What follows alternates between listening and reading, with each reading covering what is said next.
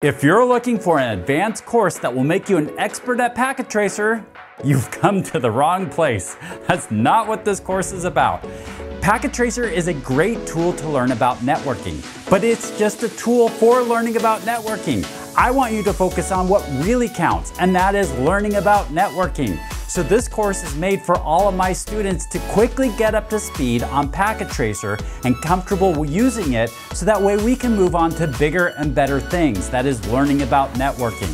My name is Andrew Grimes, owner of TechKnowSurge, and I'll be your techno DJ serving up techno content just for you.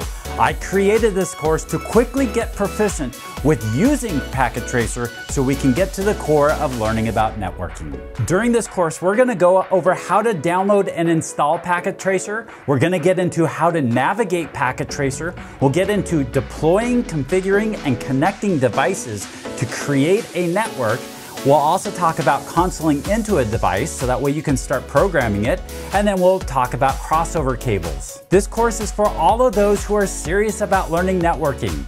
But of course, if you're just into Packet Tracer and just want to learn it for the fun of it, come join us as well. No prior knowledge is needed for starting this course. We're gonna start from ground zero and work our way to learning the basics. So sign up for the course and let the fun and games begin. Now let's get started.